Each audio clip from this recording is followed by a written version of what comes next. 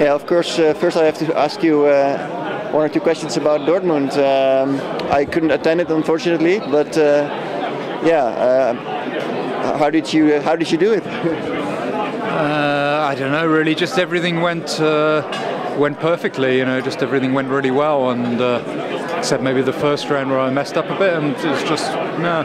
I don't know. It was a very nice experience for me. Probably unique experience. Yeah, it's unique. Do you think it's your, your biggest tournament success or, or not? I think probably because seven out of nine against a field like this, it's a bigger score. Previously, when I've won big tournaments, it's been with a smaller score. So, so probably, certainly for all play alls.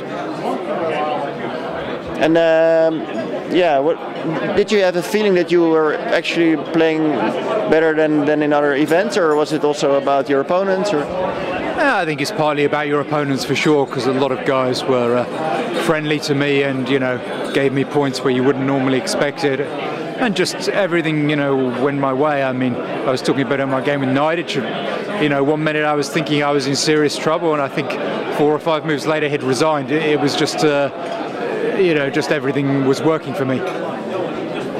Okay, now to the World Cup. Um, it's very different, of course. Uh, but uh, are you are you changing anything in in how you how you're going to approach this? Uh, no, not too much. I mean, I think you just have to show up and try and uh, try and play well quickly because you don't have much time here. So uh, yeah, I mean, I, no, I mean, I I kind of thought about it a bit, and uh, there wasn't so much time after Dortmund anyway. So really, there was there wasn't much to do. You know, by the time I got home from there, I was coming here. So we'll just see what happens. And what do you think of playing uh, in Tromsø here in Norway? Yeah, well, I only arrived uh, today actually, so I haven't really seen a lot of it. I, but I saw the playing hall; it looks pretty good. So we'll see how it goes.